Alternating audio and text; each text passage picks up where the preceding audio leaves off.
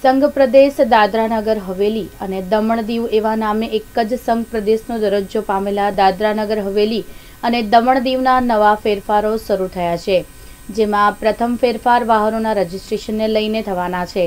આ સંઘ પ્રદેશમાં પહેલા દમણના વાહનોમાં ડીડી ઝીરો થ્રી, દીવના વાહનોમાં ડીડી ઝીરો ટુ અને દાદરનગર હવેલીના વાહનોમાં ડી એન ઝીરો નાઇન રજિસ્ટ્રેશનની સિરીઝ હતી.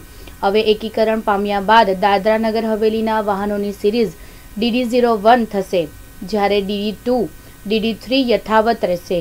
તો આરટીઓનું પણ એકીકરણ થયું છે અને તેની ત્રણ કચેરીઓ કાર્યરત રહેશે. ફેરફાર થવાનો છે. તો કઈ રીતનું આખું આયોજન છે? મિનિસ્ટ્રીથી જે નોટિફિકેશન આવ્યું છે એમાં આગલા જે બે કોડ હોય આપણા એ પહેલા આપણા ડીએન ઝીરો નાઇન હતા. એના પછી એનું ટ્રાન્સફર થઈ ગયું છે ડીડી ઝીરો વન આપણને, જે મળ્યું છે દાદરાનગર હવેલી આરટીઓમાં. એના કારણે જૂના આપણા આરટીઓમાં એક લાખ સાઠ હજાર વ્હીકલો ટોટલ રજિસ્ટર છે આજ સુધી.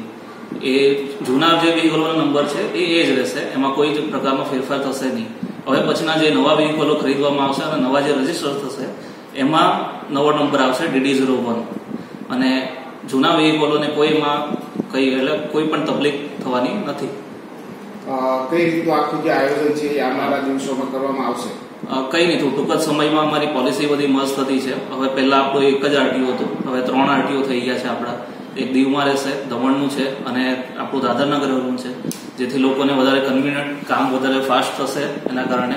અને દમણની અંદર કઈ અલગ ભાવ હતા, નંબરના જમ્પિંગ નંબરના, આપણા અહીંયા અલગ હતા, દીવમાં કઈ અલગ હતા, એ બધું એક સમાન કરી દેવામાં આવશે, જેથી લોકોને વધારે નંબર સારા મળશે.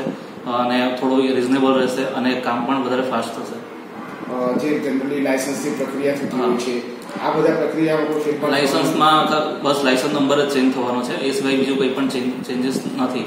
અને મતલબ ખૂબ જ સરળ થઈ જશે અને ત્રણે ત્રણ અલગ સર્વરો હતા એ પણ એક થઈ ગયા છે. જેથી વધારે આપણે દમણથી કોઈ ગાડી પરચેસ કરીને સિલવાસમાં લાવી હોય અથવા સિલવાસમાંથી દમણ લઈ જવી હોય તો એના માટે વધારે સરળ થઈ જશે.